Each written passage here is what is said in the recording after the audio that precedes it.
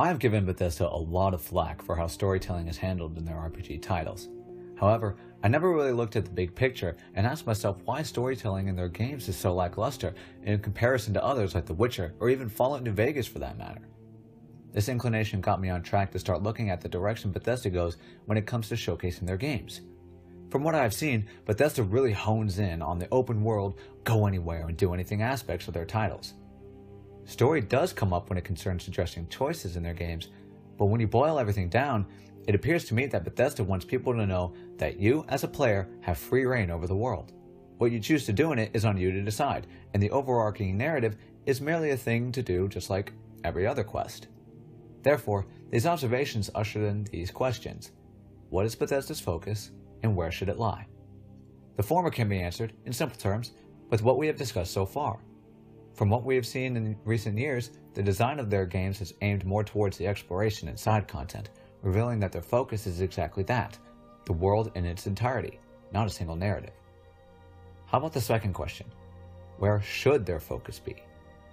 That is a little harder to answer, so why don't we delve further into the topic by discussing some of the trends Bethesda titles, most notably their stories, have to possibly point out issues. The first trend I took notice to was their story's urgency.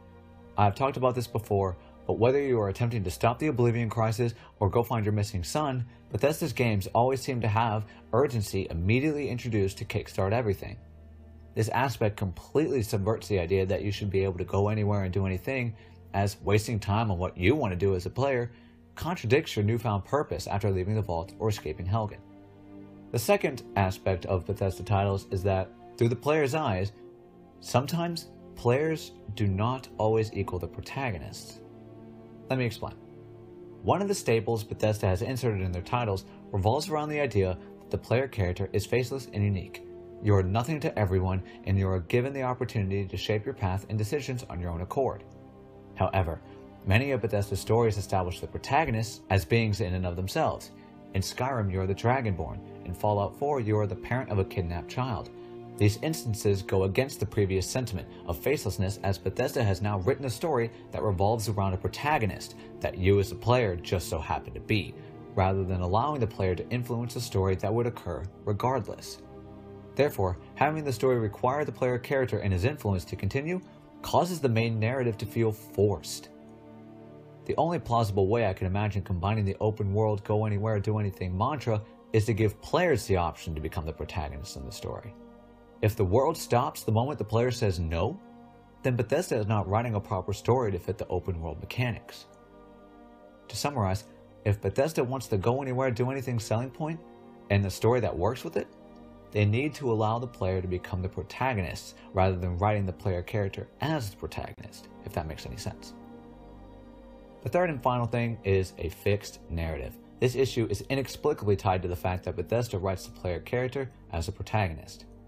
While Bethesda can tout how there is so much choice in their games, when you really think about it, can a player say no to the main story and have the world continue and make sense? Can the Dragonborn say he's not going to kill Alduin? Can the lone survivor give up on finding his son? The answers to those are no. But can the courier from Fallout New Vegas ignore the politics of the Strip or the Hoover Dam conflict? Yes. And the reason behind that lies in the fact that the player character, through the courier, needs to insert himself into the story in order to be involved.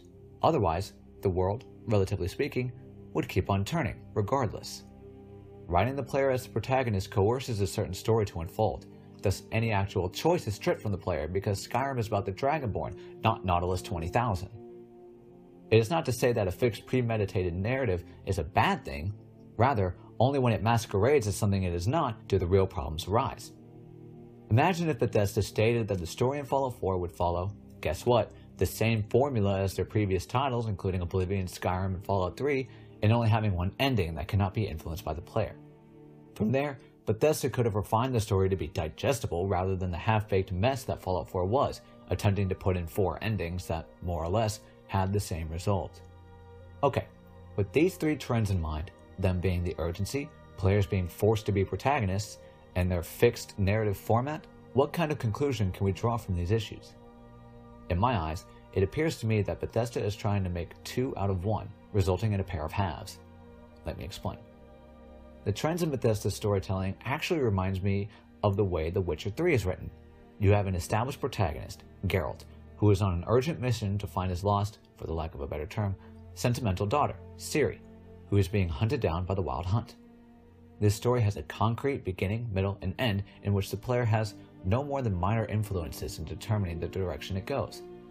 There are multitudes of differences between The Witcher and Bethesda RPGs. However, the most notable to me is that The Witcher does not try to be two things at once. It is a very narrative driven game that relies heavily on its storytelling to bring in an audience.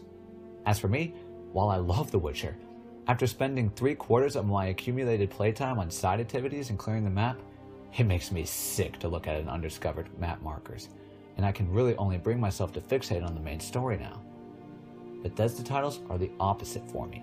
I could spend days going around doing side stories and content and not get bored, but the moment I'm thrusted into the main story, I am one step closer to jumping off a building. This is what I mean by essentially saying that Bethesda tries to make their games two things in one. They write a story similar to the Witcher format, but also wants players to have the freedom to do what they want on their own time, whether it be exploring, becoming the master of all the guilds, or smithing thousands of iron daggers. Imagine if Geralt was able and did anything similar to those things. It would likely rattle, if not destroy, the entire tone of the narrative.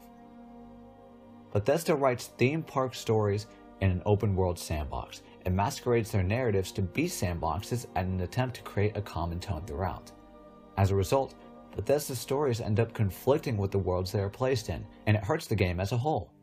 If Bethesda wants to write stories about the Dragonborn, the hero of Kvatch, the Lone Wanderer, or the Sole Survivor, I do not believe sandbox worlds are the proper medium. In all honesty, I think if Bethesda made games around the stories of the protagonists I just mentioned, where they could flesh out the intricacies and add more details and development rather than worry about creating a massive open world with hundreds, if not thousands, of other possibilities to take into account, the potential of these narratives exponentially increases. However, it seems people do not buy Bethesda titles for riveting tales of adventure because, in reality, it is so engrossing to explore the worlds of Tamriel and the American wasteland, and to pave the way for your own adventure. I guess this all leads back to the second question Where should Bethesda's focus lie? If you ask me, I think Bethesda tries to tell meaningful stories through their titles, but they know that's not why people play. Therefore, the stories get watered down and reduced so they can fit into the open world sandbox environment without overshadowing everything else in the game. And you know what? Bethesda is honestly great at creating worlds people are able to get lost in and spend hours or days getting involved in all the trivial matters of it. If anything, in my opinion, Bethesda should focus on creating worlds and telling the individual stories of the people within them. They can leave the deep, character driven storytelling to CD Projekt Red. Other than that, that'll be it for me today. If you have any questions, quarrels, queries, be sure to let me know. I'm Cucumber, and remember, pass the dressing.